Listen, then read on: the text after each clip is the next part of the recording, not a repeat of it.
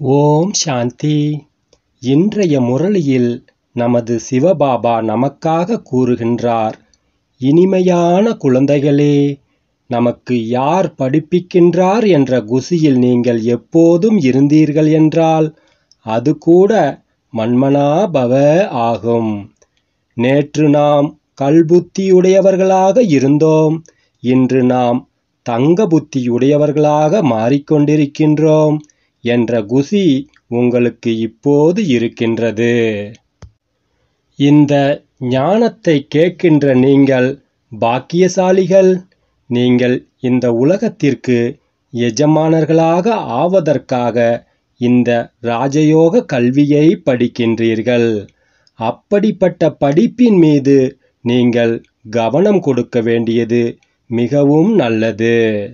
இனிமையிலும் இனிமையான காணாமல் போய் கண்டெடுக்கப்பட்ட செல்லமான குழந்தைகளுக்கு தாயும் தந்தையுமான பாப்தாதாவின் அன்பு நினைவுகளும் காலை வணக்கமும்.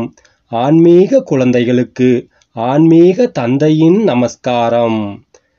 நாமும் நமது இறை தந்தைக்கு அன்பு நினைவுகளையும் காலை வணக்கங்களையும் நமஸ்காரங்களையும் கூறிக்கொள்வோம். தாரணைகளை பற்றி இப்போது பார்ப்போம். முதலாவதாக இப்போது நம்முடைய வாழ்க்கை பயணம் முடிந்துவிட்டது. இந்த கல்பத்தில் கடைசி பிறவியை நோக்கி வந்திருக்கின்றோம். நாம் முதலில் நாம் நம்முடைய வீடான சாந்திதாமத்திற்கு நாம் செல்ல வேண்டும். பிறகு அங்கிருந்து நாம் ராஜ்யம் செய்வதற்காக மீண்டும் இந்த பூமிக்கு வருவோம் என்ற இரட்டை மகிழ்ச்சியில் நாம் இப்போது இருக்க வேண்டும்.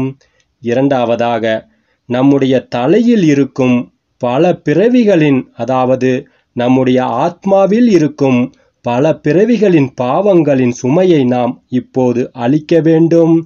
அதற்காக நாம் இந்த தேக அபிமானத்தில் வந்து எந்த ஒரு விகர்மமும் செய்யக்கூடாது. தந்தையின் நினைவிலே இருக்க வேண்டும். வரதானம்.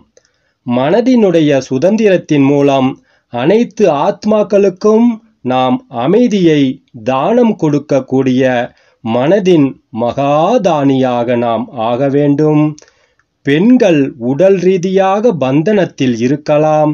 ஆனால் ஒருவேளை மனதி மனதினால் சுதந்திரமாக இருந்தால் தனது உள்ளுணர்வு மூலம் சுத்தமான எண்ணங்களின் மூலம் இந்த உலகத்தின் வாயு மண்டலத்தை தூய்மையாக மாற்றுவதற்கான சேவையை நாம் செய்ய முடியும். தற்சமயத்தில் மனதினுடைய அமைதிதான் இந்த உலகத்திற்கு மிகவும் அவசியமாக தேவைப்படுகின்றது. ஆகையினால் மனதின் மூலம் சுதந்திரமான ஆத்மாவால் மனதின் மூலம் அமைதியின் வைப்ரேஷன் பரப்ப முடியும்.